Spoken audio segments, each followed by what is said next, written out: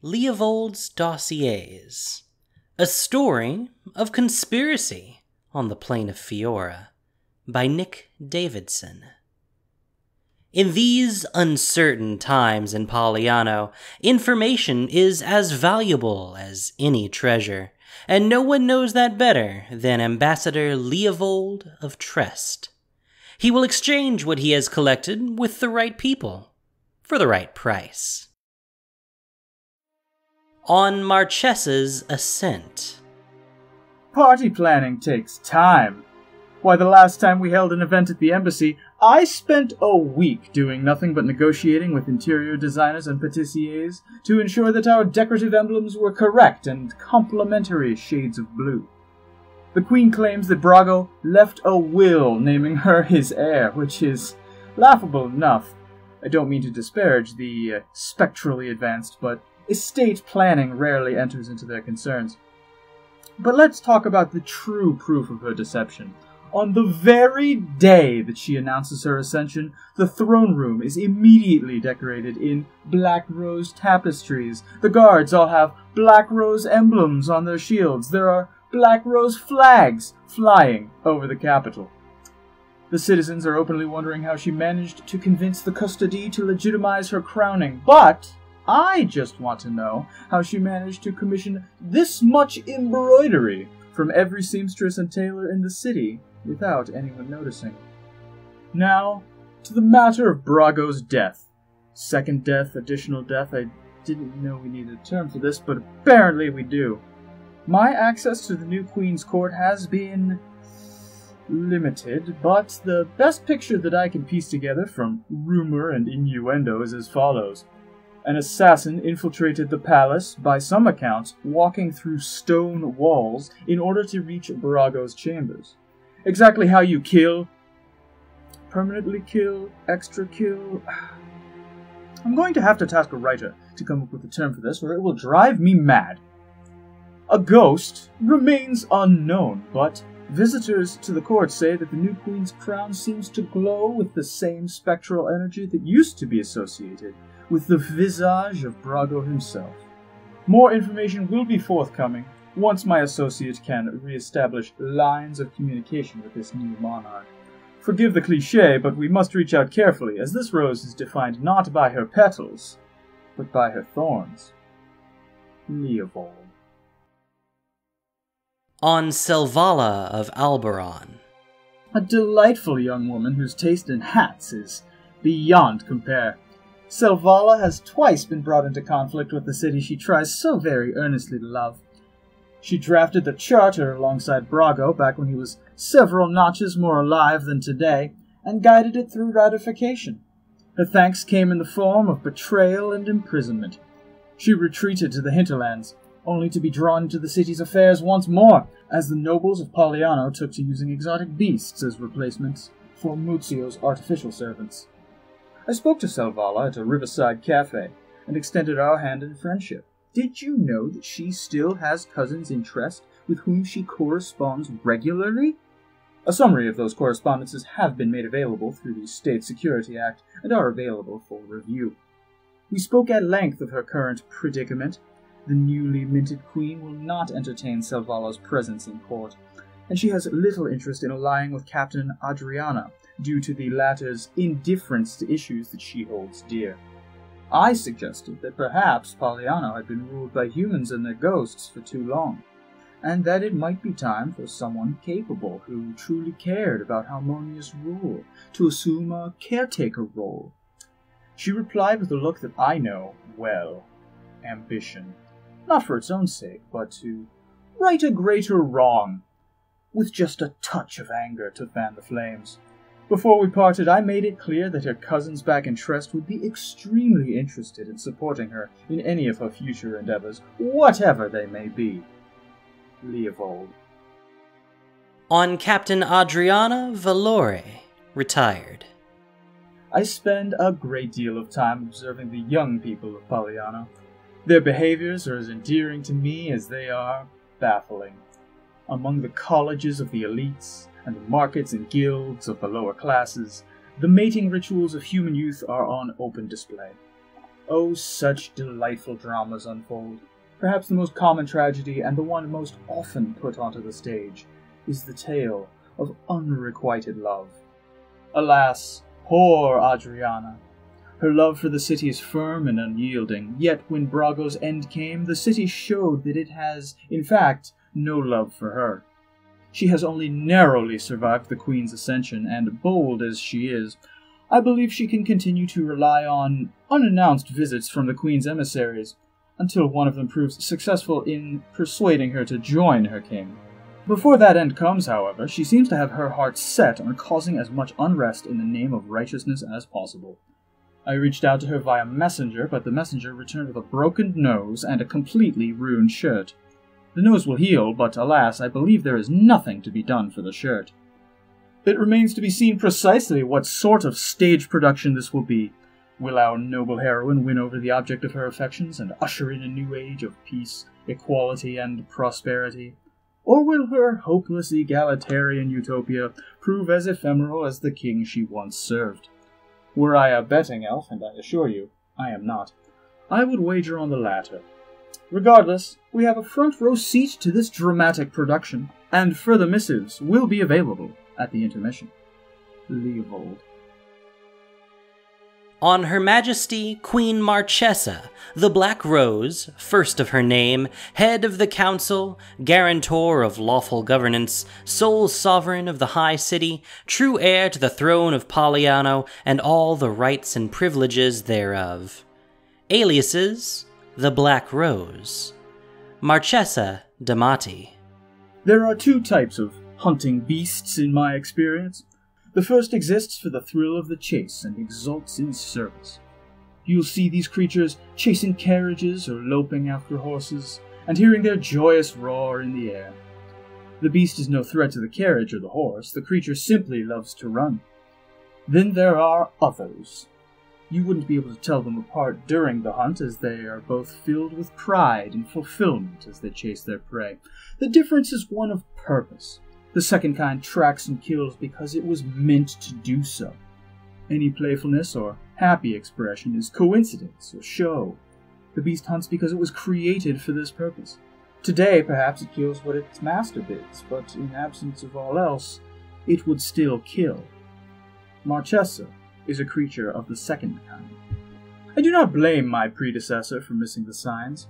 The carefully cultivated persona, the genteel mother of assassins role that she's played for years, all of it seemed to be pointing toward a specific ambition to exert control and influence from the shadows. In retrospect, the entire persona was a distraction. The throne was always her target. Always. In the streets, some call her usurper. I've heard scoffing references to her power grab in the void left by Brago. But her intent is not just to seize power she intends to rule. Within hours of taking the throne, there have been proclamations and policies clearly drafted weeks and months before. All are aimed to consolidate her power, gain the nervous acceptance of the populace, and legitimize her rule. If her edicts are obeyed, then how can she not be queen? The next weeks and months will be crucial. The entire coup could unravel given the right nudge, but at the same time, a nudge from other parties could help consolidate her power. I have made an official outreach on Trest's behalf. You will be updated post haste with Her Majesty's reply. Leovold. On Grenzo, Warden of the Royal Dungeons. I love goblins. I know what you're thinking, but it's true. A goblin, by its nature, helps us understand ourselves. A goblin is everything we are not aggressive, savage, uncouth, and loud. When a goblin truly embraces his nature and becomes the pinnacle of what he is capable of, I cannot help but find him endearing. This would be the case with Gorenzo, if I were not somewhat concerned that he and his rabble will murder me in the night alongside everyone I hold dear. Gorenzo was content to be a part of the machinery of Paliano. He had maneuvered himself into a position by which he could control vast swaths of the underworld, by serving as warden for Brago's prisons and commanding the unwavering loyalty of a network of bondsmen, bounty hunters, and criminal gangs. He was a powerful force in the city who never needed to dirty his hands. This is a figure of speech only. His hands were, I assume, filthy all of the time. In the absence of Brago's patronage, and it is entirely unclear what the inciting event was that led to the former king to tolerate and encourage Grenzo's operations. Grenzo has adopted a different tactic, one that simultaneously surprises me more and less than the ones he has employed before open rebellion.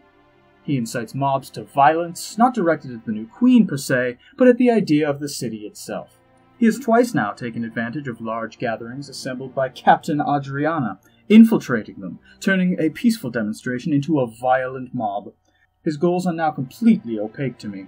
He is certainly not establishing himself in a position of power, unless you consider attempting to bring about the downfall of all positions of power a means to that end. Is this anarchy an actual political philosophy? I would like to give Grenzo the benefit of the doubt on this, as I have become fond of him over the years. Perhaps he actually mourns the loss of his king and expresses it through rage. Doubtful, but I can't rule it out. Perhaps this chaos is at the new queen's behest. It seems out of character for her favorite sort of games. Or Perhaps he is simply reverting to his baser instincts, smashing and burning for the sheer glory of the sounds of broken glass, the dancing lights of the flames. Regardless, I have instructed my diplomatic staff to stay clear of any large gatherings, as the streets are more volatile than I have ever seen. Leovold. Note.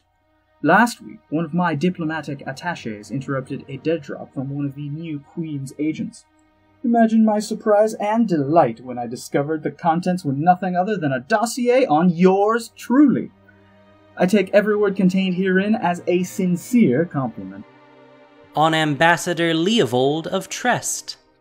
To Her Majesty Queen Marchesa, the Black Rose, first of her name, head of the council, guarantor of lawful governance, sole sovereign to the high city, true heir to the throne of Paliano, and all the rights and privileges thereof. Per your instruction, I have gathered the following information regarding the recently appointed ambassador from the city state of Trest. He has been making his presence known in the city by hosting elaborate parties, banquets, and other displays with the express intent of, quote, cultural exchange. The Trestians seem to struggle with our cultural norms and opt for a display of wealth and supposed refinement. But attendees to these events describe them as gaudy and gauche. As the elves of Trest tend toward the primitive and backward, this is no surprise. Leovold himself seems content to play the part of obsequious host and court jester, with his grand gestures and bold proclamations of friendship. It seems clear that he is trying to ingratiate himself with the nobility and common folk alike, with some success. The Trestian delegation is generally welcome in polite society, as well as among the lower classes. The embassy does retain a small armed contingent of guards. Given the size of the embassy staff, this is unsurprising, and while the guards seem well trained, they are certainly not on any sort of aggressive footing seemingly happy to wonder at the sights and sounds of the greatest city in Fiora. Now, there have been some rumors of members of the Trestian delegation being associated with minor diplomatic incidents, suspicion of being involved in espionage and the like. There are two potential explanations for these reports. Either Leovold and his attaches are engaged in highly sophisticated spying efforts against the state, or members of his delegation are simply prone to nosing around and occasional petty theft. I think the latter to be the much more likely explanation, but I admit I cannot entirely rule out the former.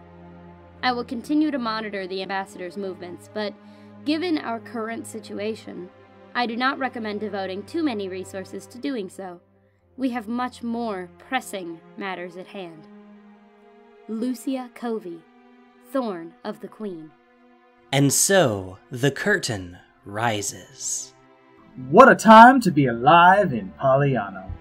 The pieces are all in place, the lights are lit, and the game is about to begin. All eyes are on the Queen, of course, as she gears up to confront the renegade Captain Adriana. The city guard have been largely thrown over in favor of troops loyal only to Marchesa, but these are elevated spies and assassins, not a group trained in keeping order. Most of them look as if they would be more comfortable holding a short blade in a dark alley rather than sitting high atop a horse covered in mail. The former guards? Some were imprisoned, but the prisons are a sieve. Grenzo has no desire to help the Queen keep order, and he has largely abdicated his post. Adriana has managed to stage some rather daring rescues to bring her former guards to her side. There was a particular prison break that involved a domesticated Hydra, a wagon full of meat pies, and a trio of infiltrators just quite unconvincingly as washerwomen. But I digress. Captain Adriana claims to fight for the city, as if it were some sort of personified ideal. A delightfully poetic concept, but her tactics are more in the physical realm. Demonstrations too large to be peaceably put down, coordinated strikes against some of the Queen's former holdings, and speeches. Ugh. Let's just say the dear woman does not shy away from the sound of her own voice.